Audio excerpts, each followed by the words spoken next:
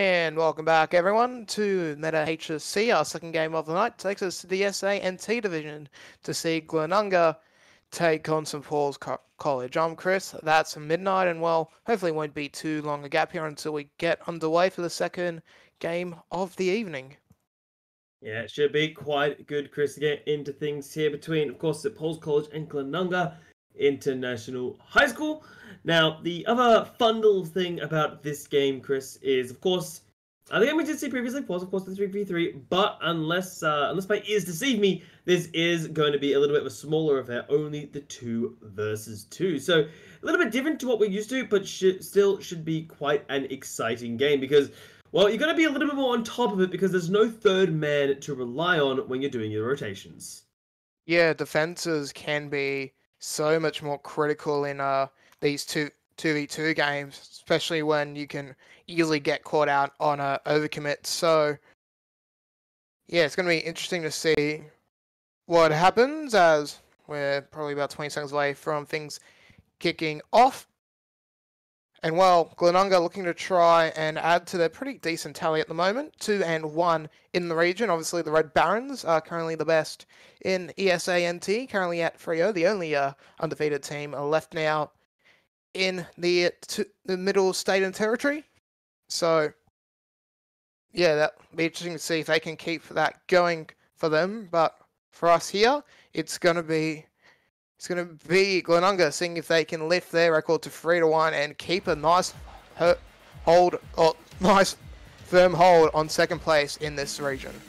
Well, let's find out, Chris, because it is go time for game number one here. Glenunga and St. Paul's battle butt heads here. As um, wait, am I blind or am I seeing multiple? The AI Uh, are getting involved, bots, so that's bots, probably yep. not intentional. Yeah, they forgot to uh, turn off the bots it seems. So uh, looks like we will be uh, remaking the lobby then, which is always unfortunate, but it does Whoop. occasionally happen. So yeah, that's a bit of a pain, isn't it? As Doesn't it add to the challenge when the bots get involved though? Like, I don't know, maybe just me, but doesn't it just add to the to the thrill of battle when you're like, oh god, now I have to deal with the bots in the in the match. uh, maybe, but nah.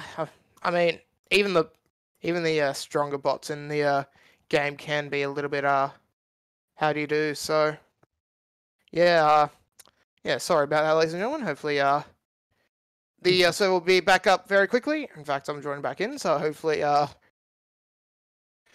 Is it's better? I see I see the words two v two, Chris, which I think is the correct thing I want to be seeing Yes, into it this match. So hopefully, so- hopefully it only happen once. If it happens twice, then I, the gods are against us or something like that. Yeah, pretty much. So hopefully that is not the case, as we get everyone into the server now. I believe we're actually just waiting on one more. There we go. So we'll get them to ready up immediately and uh, take two of this uh, best of three. will hopefully go well this time. Well, let's find out, Chris. It's about to be kicked off. Hopefully, I'm not going to get interrupted this time with a sudden arrival of the bots. The bots look like they have been locked out of the arena, and so it is go time. Game number one. The kickoff doing pretty decently for Glenunga, with Ravino winning that particular one, and you might be able to get followed through there, but the defense is a little too solid. Yep, able to carry the ball out of their own half here, but therefore he's got an open net, and that's what we're talking about with 2v2s. You have to pretty much keep one person at defense unless you're guaranteed a goal because it's so much easier to counter attack. And, well, you can see why. Zephyr just gets a free net, gets a free shot, and he gets the opening goal. Yeah, and a good way to start that one, Glenunga, with the first goal coming in so far. But will they be able to get the second? It looks not bad, actually, as Ferret gets the ball up in the air, but Jelly does get in the way, and the offense does die for a little bit. Yeah, it does soften up here, and this is actually a good opportunity for Hugs Def, but Ravino keeps control of the ball, gets a 50, he tries the fake, but Wobbly Jelly knows exactly what's happening there. An easy little flick of the ball to the sidewalls as Hugs Def tries to get it past one, but once again, Ravino is a little bit too strong for him there. Nice demo, opens it up here for the side of St. Paul's, but Zephyr immediately puts the ball onto the attack here for that orange side. Ravino, beautiful touch, but just couldn't finish it off. Zephyr sends it a bit high as well, and Well, at the moment, no real defense are needed for Glenunga as they keep the ball well into attack. They make the rotations back now. Ugseth, too soft a touch there to really punish that pure aggression coming out from Glenunga. And, well, for this orange team, they're more than happy to keep the ball in the midfield because half the time it does seem like they're just winning it strongly. Yeah, their 2v2 seems to be a little bit stronger. Right now, with constant offense, the ball's in front, but Ravino not able to get in position. They're trying to bully his way through. He actually does! What a steal coming out! Yeah, good play there from Ravino. Just bumps oh. out Wobbly Jelly, gets the ball into the corner, and while he's not being a bit, he's not being aggressive there. He just waits for the possible return. It does punch, sorry, bounce out of the net, and well, he just needs to tap it in in front of an open net. So 2-0 lead here for the side of Glenunga, and he might look to make it free here as Zephyr gets a nice little break, only Wobbly Jelly to try and stop this attack, but that's just been perfectly oh. set up. Zephyr, though, has go on the handbrakes, but he eventually sends it in. He picks himself up a double. Yeah, and Hugs was just so far out of position. Jelly trying to fight a 1v2 and is just not able to get into the positions. Hugs was on their way back, I believe, from a boost collection. So they're like, oh yeah. oh god, you know, just not in the right position. And that's the hardest part of 2v2s is there's just so little resources in terms of actually what you've got on the field to play with that you know you've got to go get boost, you've got to be in the right position for defense, you've got to be in position to stop the um, attack coming in. So there's so much you have to do. It is really difficult to perform correctly. Yeah, and this is why 2v2 and 1v1 Rocket League is so much different compared to its 3v3 counterpart. Just with that, with so much extra space, it you get punished a lot more for being overly aggressive. So yeah, it's, I mean, for Glenunga, they've been able to stay on the attack for the most part and not be punished for it, but yeah, it also just opens up the other side of the field where if your defenses are a little bit weak, your opponents, well, they just get a better opportunity to go onto the pounce as Hugseth gets 150 going, but Ravino once again blocking him off and denying him a chance at net. Now he's just going to try and carry the ball, but he passes it back, back nicely to Zephyr. Now goes into the corner, Ravino on high, centers it up. Here comes Zephyr, but he's a tad too late for that play there. Hugseth tries to carry it out once again, but he just continually loses possession here. That's a very good angle there. And Zephyr, that's a nice goal for him as he picks up the hat trick. Yeah, and that's looking fantastic now for Glenunga here. And part of the problem that's going on is that the members of St. Paul's are not getting access to the boosts that they kind of need to yeah. um, make their plays. We saw for them the last play, Hugs didn't have any boost. Like there was so little they could do. The ball's in the air, they're trying to ride the wall, but without any boost, it is just such an impossible task to do correctly. Indeed, it's it's just as I said, it's just why 2v2s can be so much harder than 3v3s. You have just having that one man less, it just makes it so much harder mm. to get everything done cleanly. It does seem a bit counterintuitive, but it honestly makes you life hard as Hugseth should get this one in. The first response finally for St. Paul's and it was finally that counter to that aggression from Glenunga that finally sees St. Paul's get on the board.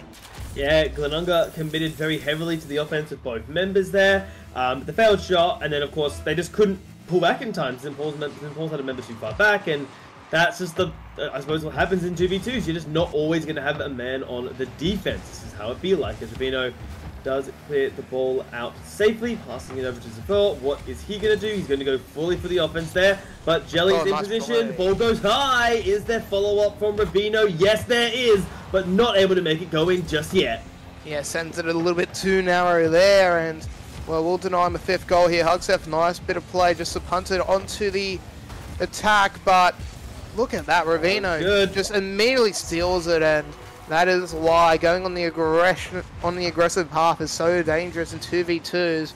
Unless he can keep control, you can easily get counted, and Ravino just pops one on top of him. There's no way of saving that one.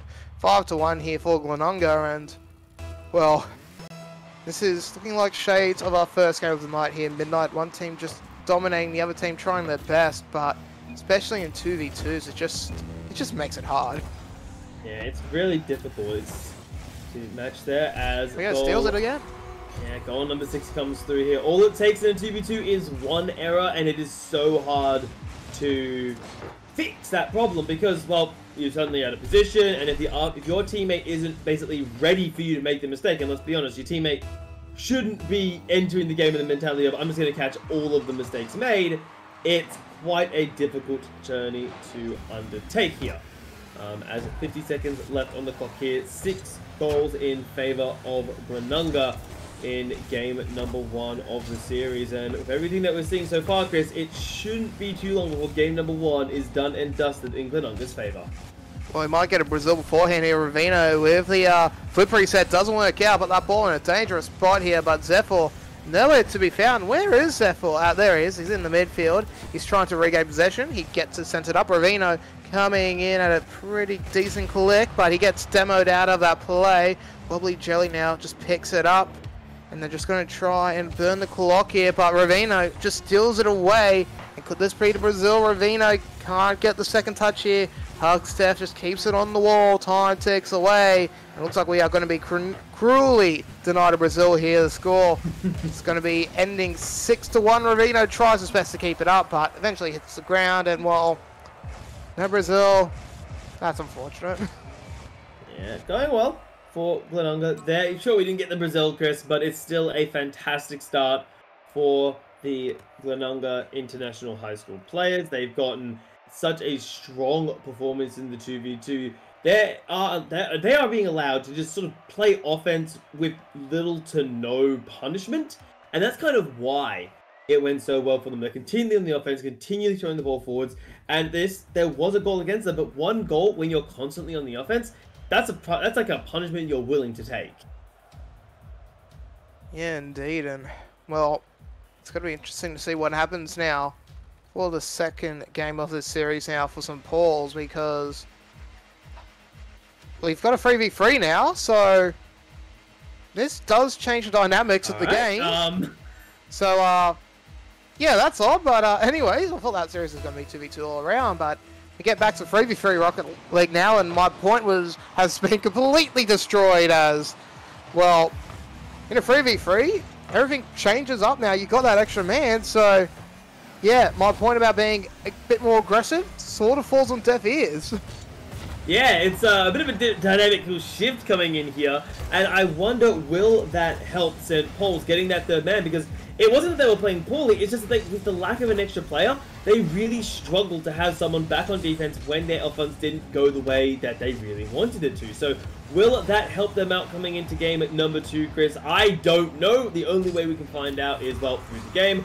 We are a bit over 30 seconds in, and so far, the ball has just sort of been dancing around the midfield for the most part.